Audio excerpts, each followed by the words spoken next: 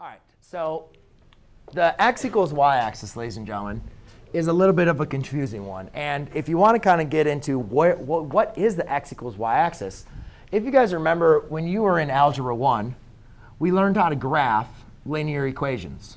Yes?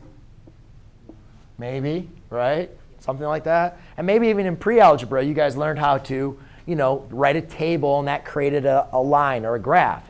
So if I was going to choose points, let's say negative 2, 0, and 2, and my equation is x equals y, what does my y points represent those? So if I say negative 2 is for x, what does y be? What is y going to be?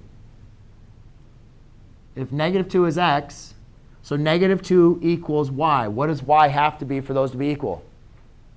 Negative 2. So it's the exact same points.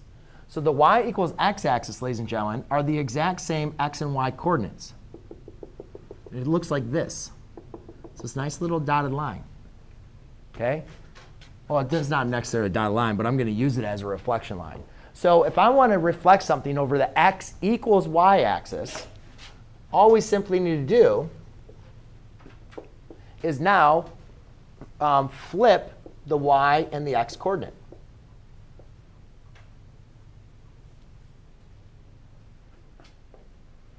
You might say, what? How, what is this doing? How, how do you do this?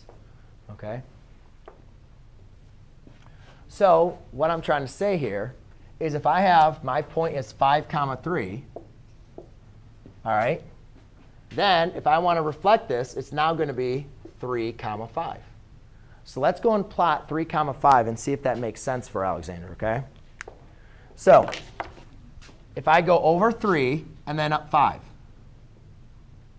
over 3, 1, 2, 3, up 5.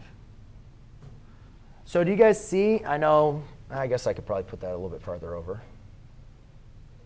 Do you guys see how this point, this orange point, is now a reflection over this dotted line? Does everybody see that?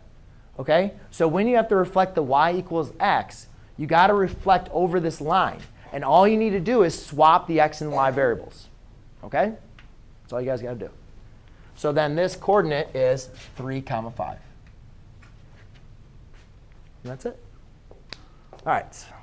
We're almost done yet, ladies and gentlemen. Yes? You got your summary? You got your homework.